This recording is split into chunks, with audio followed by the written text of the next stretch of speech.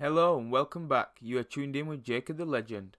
We have some big and exciting news for Xbox One DayZ fans, so let's get straight into it. The information here is straight from the DayZ website itself, so you know it's legit, guys. Here's a word to survivors from DayZ.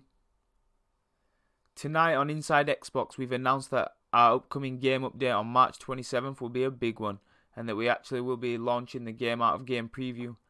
Before we say anything else, we want to thank each and every one of you in the community for your help over the past months.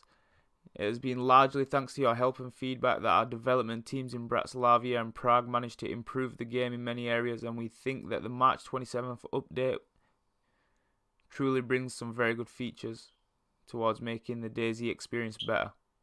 We'll tease bits of those changes below, but in case you missed the live show, you want to do something else first, along with the announcement, we've premiered our cinematic trailer called Every Day is a New Day. As you probably know by now, some of the best moments in DayZ happen when you fully immerse yourself into the world of Chernarus and just live in the moment. The precious moment you really care about what's happening in the game, when your heart is racing because of the adrenaline shootout or emotional role-played interaction with other players, the moment you're living in your own survival story. Our trailer celebrates this unique storytelling feature of DayZ by presenting a cinematic interpretation of one of the stories that can happen to you in the game every day, and also bears a message that even when everything seems lost, there will always be something worth fighting for. This is the title screen for the new DayZ trailer. I will leave the link in the description below. So let's go over what's coming in the 1.0 update on March 27th for the Xbox. We're going to be getting improved rendering performances. This should prevent many FPS drops in graphics and audio. Optimize inventory performance, improvements in performance when you have a lot of items around you on the Xbox.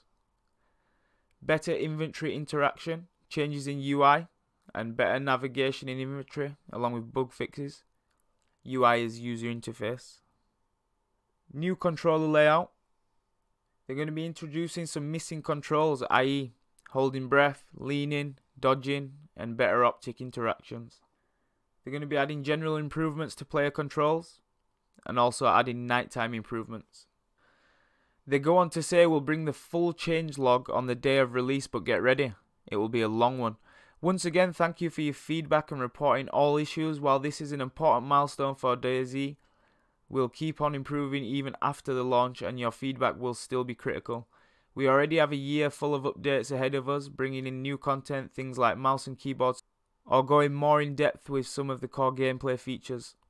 They go on to say, see you all in Chernarus March 27th, and keep your eyes on the social media. Thanks for tuning in, guys. That was just the DayZ update that was scheduled for on the March 27th. Thanks for tuning in. I hope you enjoyed the video. If you did, why not hit the like button and subscribe for more DayZ content?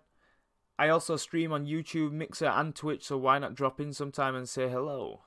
I'll leave the links in the description below. Do you guys play DayZ? And what are you most excited to see in the March 27th update? Let me know in the comments below. Peace out.